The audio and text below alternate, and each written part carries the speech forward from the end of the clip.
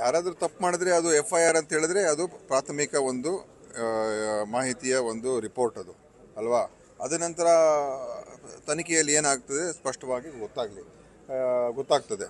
ಈಗ ಅವರು ಆ ಥರ ಮಾತಾಡ್ತಕ್ಕ ಅವರು ಆ ಥರ ಮಾತಾಡಿದರೆ ಖಂಡಿತವಾಗಿ ಅದು ಒಳ್ಳೆಯದಲ್ಲ ಸರಿಯಲ್ಲ? ವಿವಾದದ ಬಗ್ಗೆ ಗೊತ್ತಿದೆ ಸರ್ ನಿಮಗೆ ಅಲ್ಲಿ ಅರಣ್ಯ ಭೂಮಿಯನ್ನು ಒತ್ತುವರಿ ಮಾಡಿದ್ದಾರೆ. ನನಗೆ ಅದು ಪೂರ್ತಿ ಮಾಹಿತಿ ನಂತರ ಇಲ್ಲ. ಇದು ಡಯಾಲಿಸಿಸ್ ಸೆಂಟರ್ಸ್ ಬಗ್ಗೆ ನೀವು ಲಾಸ್ಟ್ ಟೈಮ್ ಅದನ್ನ ಹೌದು ಈಗ ಟೆಂಡರ್ ಫೈನಲೈಸ್ ಆಗಿದೆ. ಈಗ ಅದು ವರ್ಕೌಟ್ ಇಶ್ಯೂ ಮಾಡ್ತಾ ಇದ್ದಾರೆ. ಸೊ ಎಲ್ಲ ಎಲ್ಲ ಕಡೆ ಹಾಂ? ಯಾವಾಗ? ಇನ್ನೇನು ಇವತ್ತು ಇವತ್ತು ನಾಳೆ ಒಂದು ಎರಡು ದಿವಸ ಮಾಡ್ತಾರೆ. ಇಶ್ಯೂ ಆಗ್ತದೆ. ನ್ಯೂ ಏಜೆನ್ಸಿ ನ್ಯೂ ಏಜೆನ್ಸಿ ಹೊಸ ಏಜೆನ್ಸಿ ಹೊಸ ಮೆಷಿನ್ಸು ಎಲ್ಲ ಬರ್ತಾ ಇದೆ. ಹೌ ಮೆನಿ ಏಜೆನ್ಸೀಸ್ ಎಷ್ಟು? ಈ ಈ ಒಂದು ಮೈಸೂರು ಒಂದೊಂದು ಡಿವಿಷನ್ ಒಂದೊಂದು ಏಜೆನ್ಸಿ ಮಾಡಿದ್ದೀವಿ. ನಾಲ್ಕು ಏಜೆನ್ಸಿ ಇದೆ. ಮೂರು ಡಿವಿಷನ್ಗೆ ಫೈನಲೈಸ್ ಆಗಿದೆ. ಗುಲ್ಬರ್ಗ ಡಿವಿಷನ್ಗೆ ಮರು ಟೆಂಡರ್ ಕರೆದಿದ್ದೀವಿ. ಮೈಸೂರ್ದು ಮೈಸೂರದು ಬೆಂಗಳೂರು ಮತ್ತು ಬೆಳಗಾವಿ. ಮೂರು ಮೂರು ಡಿವಿಷನ್ಗೂ ಟೆಂಡರು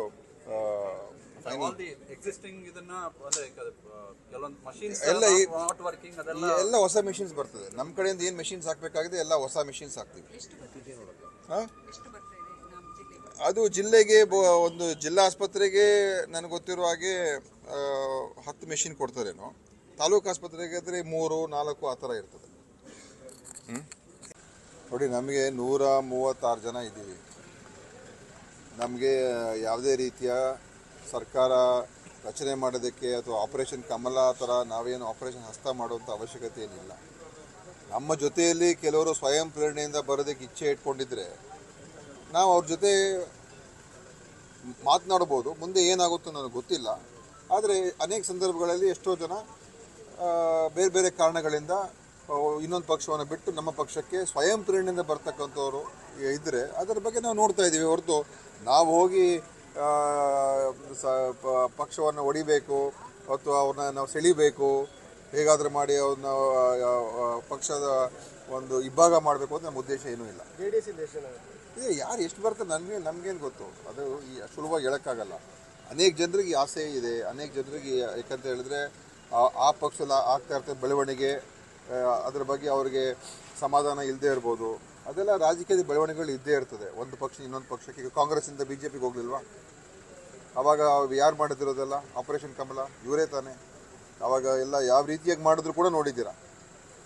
ಅದು ಎಷ್ಟು ಒಂದು ಕೆಟ್ಟ ರೀತಿಯಾಗಿ ಇಡೀ ಒಂದು ರಾಜಕೀಯ ವ್ಯವಸ್ಥೆಗೆ ಒಂದು ಅತ್ಯಂತ ಕೆಟ್ಟ ಪದ್ಧತಿಯನ್ನು ತೋರಿಸ್ಕೊಟ್ಟಿದ್ದೇ ಬಿ ಜೆ ಪಿಯವರು ಈ ಆಪರೇಷನ್ ಮಾಡುವಂಥದ್ದು ಡಿಫೆಕ್ಷನ್ ಮಾಡುವಂಥದ್ದು. ಮತ್ತು ಹಣ ಕೊಟ್ಟು, ಎಲ್ಲ ಕೊಟ್ಟು ಮಾಡಿಸ್ತಕ್ಕಂಥದ್ದು ಅವರೇ ಈಗ ಇಡೀ ದೇಶದಲ್ಲೇ ಒಂದು ಎಕ್ಸ್ಪರ್ಟ್ಸ್ ಆಗಿಬಿಟ್ಟಿದ್ದಾರೆ. ಎಕ್ಸ್ಪರ್ಟ್ಸ್ ಅವರು. ನಳಿನ್ ಕುಮಾರ್ ಕ- ಕಟೀಲಲ್ಲಿ ಬಂದು ಬರೀ ಬಾ ಬಾ ಮಾತಾಡ್ತಾರಲ್ಲ ಎಲ್ಲ ಇದು ಈ ಈ ಕೆಟ್ಟ ಪದ್ಧತಿಗಳು ಮತ್ತು ಈ ಅವಾಂತರಗಳು ಮಾಡ್ತಕ್ಕಂಥದ್ರಲ್ಲಿ ನಂಬರ್ ಒನ್ ಪಕ್ಷ ಅಂತ ಹೇಳಿದ್ರೆ ಭಾರತೀಯ ಜನತಾ ಪಕ್ಷ. ಸರ್ ಪಿ ಬಿಜೆಪಿ ಅವಧಿಯಲ್ಲಿದ್ದಂಥ ವ್ಯಾಪಾರ ಬಹಿಷ್ಕಾರ ದೇವಸ್ಥಾನಗಳಲ್ಲಿ ಅದು ಕಾಂಗ್ರೆಸ್ ಪಂಚರಾಜ್ಯ ಚುನಾವಣೆ ಏನಿದೆ ಅದಕ್ಕೆ ಕಾಂಗ್ರೆಸ್ ಕರ್ನಾಟಕವನ್ನು ಎ ಟಿ ಎಂ ಆಗಿ ಮಾಡ್ಕೊಂಡಿದೆ ಆರೋಪ. ಯಾವುದೇ ಒಂದು ಆಧಾರ, ಆಧಾರಗಳು ಇಲ್ಲದೆ ಇಲ್ಲದೆ ಸುಮ್ಮನೆ ಮಾತಾಡ್ತಕ್ಕಂಥದ್ದು ಬಿ ಜೆ ಪಿಯವರ ಚಾಳಿಯಾಗಿದೆ ಇವತ್ತು ಸೋಲಿನ ಒಂದು ಭೀತಿ ಅವರಿಗೆ ಈ ಪಂಚರಾಜ್ಯದಲ್ಲಿ ಕಾಣ್ತಾ ಇದೆ. ಕರ್ನಾಟಕದಲ್ಲಿ ಧೂಳಿಪಟ ಆದರು.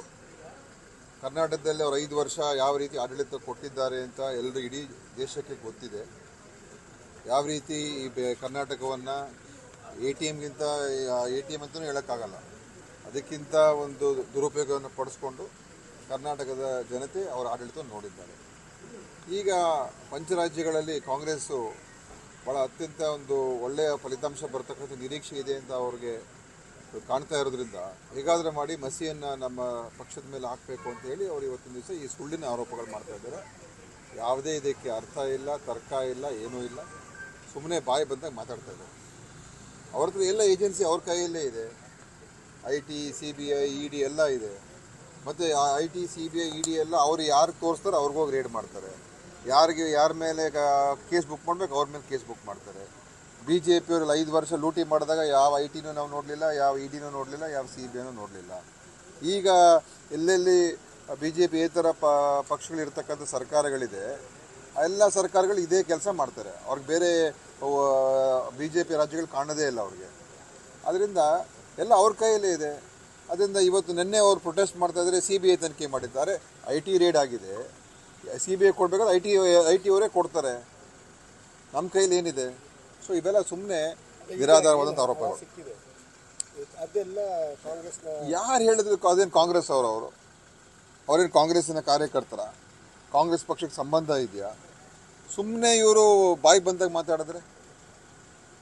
ಅವ್ರು ಯಾರು ಯಾರು ಹಣ ಸಿಕ್ಕಿದ್ರೆ ಅವ್ರು ಉತ್ತರ ಕೊಡ್ತಾರೆ.